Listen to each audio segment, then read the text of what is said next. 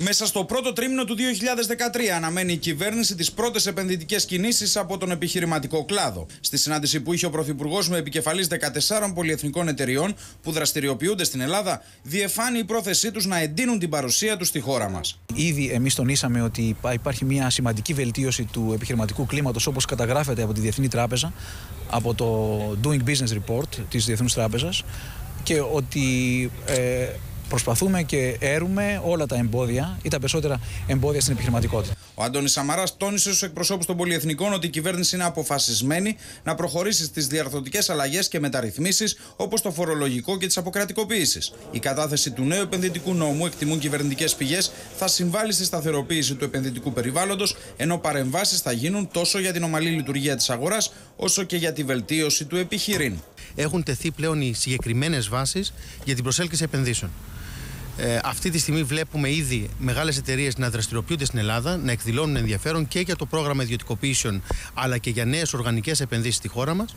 Θέλω να πιστεύω ότι από τις αρχές του 2013 θα δούμε αυτό το κλίμα να μετουσιώνεται στις πρώτες κινήσεις. Οι εκπρόσωποι των εταιριών ζήτησαν από τον Πρωθυπουργό και το Οικονομικό Επιτελείο μείωση των γραφειοκρατικών βαρών και σταθερό πλαίσιο στη λειτουργία της αγοράς. Οι ίδιοι δήλωσαν ότι οι επιχειρήσεις τους είναι εδώ για να μείνουν, βρίσκονται στην Ελλάδα εδώ και πολλά χρόνια ε, και θα είναι εδώ και για πολλά χρόνια ακόμη ε, εφόσον εμείς τους βοηθήσουμε και κυρίως ε, στο θέμα της αβεβαιότητας που είναι το μεγαλύτερο εμπόδιο στο να έρθουν ακόμη περισσότερες επενδύσεις. Σύμφωνα με πληροφορίες, οι επαφές του Πρωθυπουργού με τις συγκεκριμένες εταιρείες είχαν αρχίσει εδώ και καιρό και έχουν προχωρήσει σε τέτοιο βαθμό ώστε κυβερνητικές πηγές να εκτιμούν ότι τουλάχιστον τρεις περιπτώσεις είναι όριμες για άμεσα αποτελέσματα.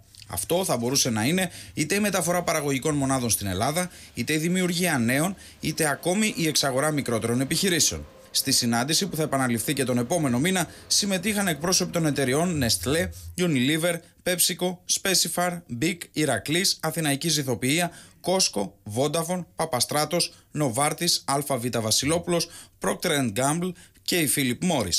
Η επιστροφή στην ανάπτυξη και η μείωση της ανεργίας αποτελούν πρωταρχικούς στόχους του οικονομικού επιτελείου.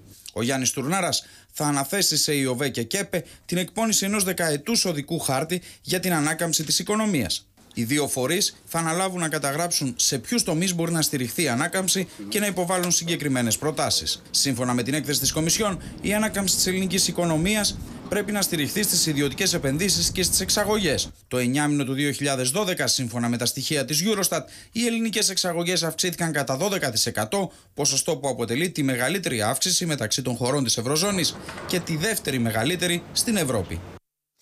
Πάμε τώρα στο Γιάννη Τζούνο. Γιάννη, έγινε αυτή η συνάντηση σήμερα στο Μέγαρο Μαξίμου. Θα ακολουθήσουν και άλλες τέτοιες συναντήσεις του κυρίου Σαμαρά με τον επιχειρηματικό κόσμο εντός και εκτός Ελλάδος.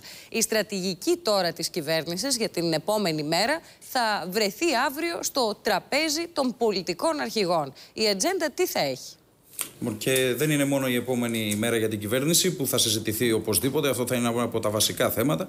Ε, ένα βασικό θέμα θα είναι οπωσδήποτε ο καλύτερος συντονισμός και η λειτουργία της κυβέρνησης. Αυτό ενδεχομένως να παραπέμπει και σε ανασχηματισμό ΣΥΑ, το οποίο όμως φαίνεται ότι απομακρύνεται σαν σενάριο τουλάχιστον μέχρι την ψήφιση του φορολογικού. Από εκεί και πέρα θα συζητηθεί το πρόγραμμα των ε, επενδύσεων και οι επόμενες κινήσεις που έχει στόχο να κάνει η κυβέρνηση στον τομέα των επενδύσεων. Ένα ακόμη θέμα το οποίο απασχολεί είναι το θέμα του φορολογικού και αυτό διότι θα πρέπει να έχει ψηφιστεί, διότι αποτελεί προαπαιτούμενο για την εκταμείευση της επόμενε δόσει. Οι πληροφορίες λένε ότι θα ψηφιστεί στις αρχές του Ιανουαρίου, αυτό που επιθυμούν από είναι το. Είναι προαπαιτούμενο για την ε, πρώτη δόση αυτή του Ιανουαρίου, αλλά δεν θα πρέπει να αργήσει πολύ.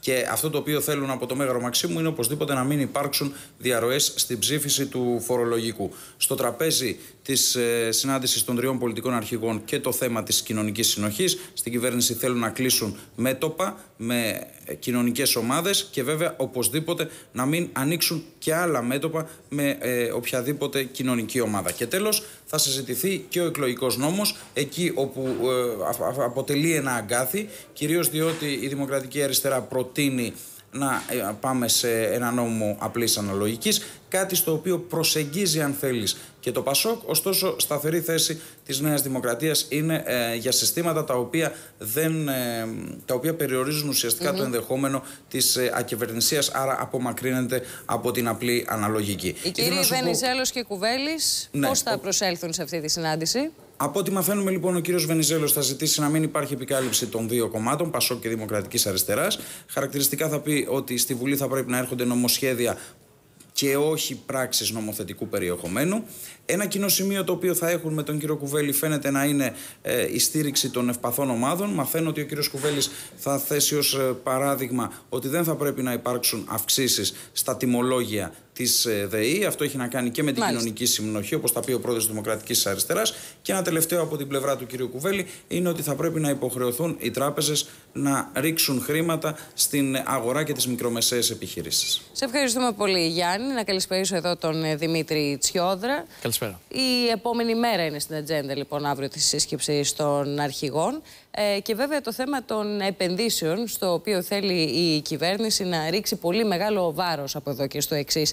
Δημήτρη, το ότι απομακρύνεται η δραχμοφοβία σημαίνει ότι θα αρχίσουν να κάνουν και ουρά οι επενδυτές; Προφανώς όχι, αν και η δραχοφοβία ήταν ένας αποτρεπτικός παράγοντας.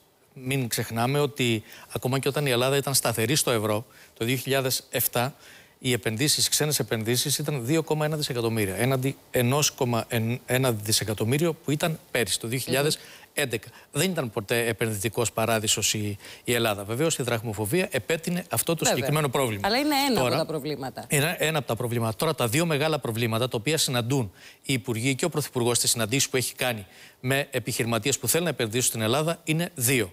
Το ένα είναι το πολιτικό ρίσκο, δηλαδή τι θα γίνει αύριο και αν η κυβέρνηση είναι σταθερή, ξέρουν λεπτομέρειες για την πολιτική κατάσταση. Το δεύτερο είναι το τι θα γίνει με τη γραφειοκρατία στην Ελλάδα. Το πάγιο πρόβλημα το οποίο αντιμετωπίζει οποιοδήποτε έρχεται να κάνει δουλειά εδώ. Είναι ουμπλέξεις. Γραφειοκρατία, διαφθορά και όλα συμπαρομαρτούνται. Ουμπλέξεις. Γι' αυτό λοιπόν η κυβέρνηση θα προ- προσπαθεί να ξεμπερδέψει αυτό το κουβάρι λέγοντας το εξής: Ότι κοιτάξτε, κάποια πράγματα έχουν αλλάξει στην Ελλάδα τα προηγούμενα χρόνια. Δεύτερον, τώρα είναι το χαμηλότερο σημείο και σας συμφέρει να επενδύσετε. Όσον αφορά δε τη γραφειοκρατία, επειδή το ελληνικό κράτος, ακόμα και οι αλλαγές να γίνουν τους επόμενους μήνες, δεν πρόκειται να γίνει ένα σύγχρονο κράτος μέσα στο 2013 θα κάνουμε κάποιες κινήσεις προκειμένου να γίνει bypass στην γραφειοκρατία. Να γίνει Και όλα αυτά παράκαμψη. παρά τα fast track, παρά τα one stop Ναι, κτλ. εδώ λοιπόν θα γίνει μια κεντρική αδειοδοτική αρχή όπου θα πηγαίνεις, θα λες εγώ θέλω να κάνω αυτή τη δουλειά, αυτό θα γίνει για επενδύσεις πάνω από 2 εκατομμύρια. Λοιπόν, και θα αναλαμβάνει αυτή η αρχή να προχωρήσει τα υπόλοιπα.